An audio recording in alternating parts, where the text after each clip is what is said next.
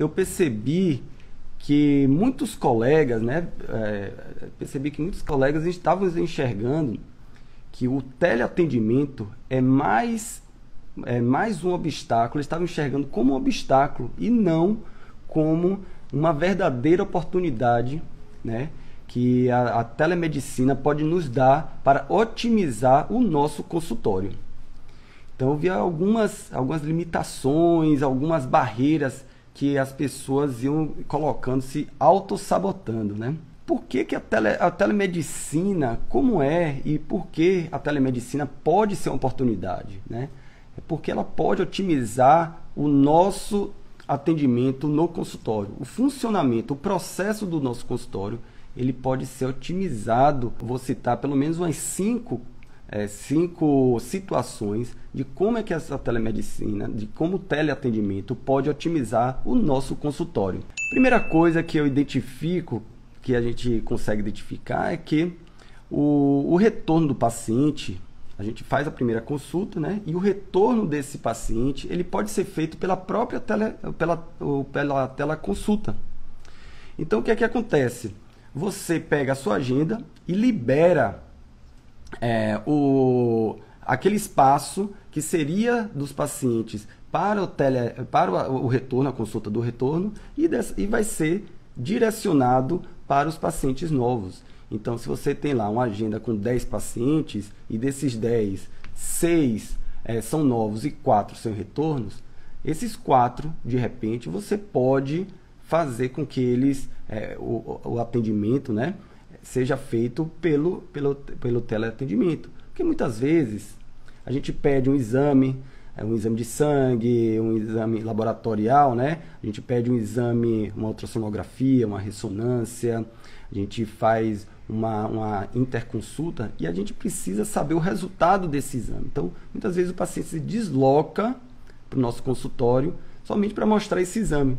Um outro aspecto que a gente precisa a gente precisa chamar atenção com o teleatendimento, com a, a teleconsulta, é você utilizar necessariamente você utiliza prescrições eletrônicas, que pode parecer algo muito difícil, né? Mas que na verdade é um grande facilitador da, da, dos nossos atendimentos. Elas são rápidas, são seguras, elas têm os algoritmos que se você mistura alguma, você é, prescreve algumas, é, algumas, alguns medicamentos que têm interação medicamentosa, ele acusa imediatamente.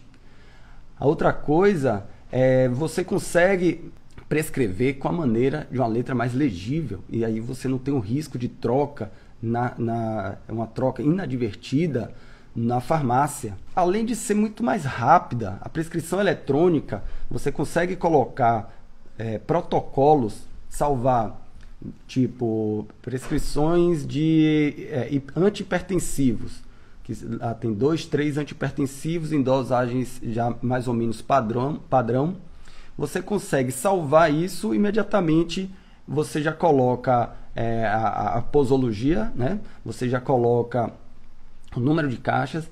Então a prescrição padrão já está ali feita, você acelera muito o, o, o, seu atendimento. Outra visão importante também da, utiliza da digitalização do nosso consultório, né, em termos de eficiência, é você tornar ele mais sustentável. Você tem uma, uma visão mais sustentável. Imagine que muitas das nossas prescrições já não precisam de papel. Então, tem, como tem empresas grandes empresas né, que utilizam projeto zero papel, né, todos, os, todos os encaminhamentos, comunicados, CIs, né, é, você, você consegue fazer sem papel. Então, o nosso consultório, utilizando a telemedicina, o, o teleatendimento, a tecnologia, você consegue zerar a quantidade de papéis. E outra coisa, com relação ainda aos prontuários eletrônicos, a gente ter acesso a essa, essa tecnologia vai fazer, inclusive, a economizar em marcenaria. Pois é, por que marcenaria? Se você não precisa de tanta gaveta, você não vai gastar, você não vai gastar com tanto com, com tanta eh, com tantos armários. Então, você está ganhando eficiência, você está ganhando, é, economizando, reduzindo os custos de manutenção do seu consultório, além da visão sustentável. O teleatendimento vai, vai facilitar também o, o prontuário eletrônico, vai facilitar também o acesso às informações dos pacientes.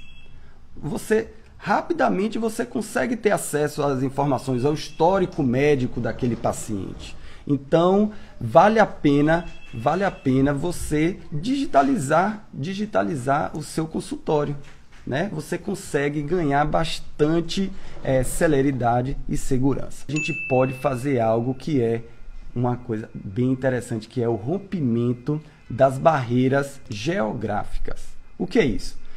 Imagine um paciente que está no interior, que está em outra cidade, e, e, você não consegue fazer o atendimento, você estava limitado ali a presencial para fazer naquela sua região. Com o teleatendimento, você consegue atender esse paciente em qualquer lugar. Você tem a possibilidade de atender é, qualquer paciente que, que tem acesso a um, a um, celular, a um computador e a internet.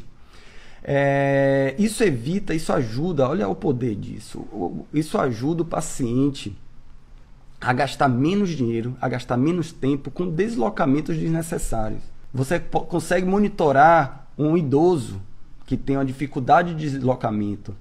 Imagine que a gente pega paciente que para chegar ao seu consultório físico, né? A gente, ao seu consultório físico, ele tem que pegar uma ambulância, ele tem que sair, ele tem que pegar um táxi, ele tem que é, o, o, o, o filho do paciente, o acompanhante, tem que faltar ao emprego e você está fornecendo a, possi a, a, possibilidade do paciente, a, sem sair de casa, é, é, fazer toda uma triagem, fazer todo um check-up, todo um monitoramento da sua saúde. Divulguem isso para um colega é, é, médico, por favor, divulguem para um colega nutricionista, psicólogo, é, fisioterapeuta, que eu acredito que eles vão ser beneficiados a gente vai dar mais dicas, né? Qual plataforma a gente vai vai é, vai falar das plataformas, a que eu utilizo, a que os colegas utilizam.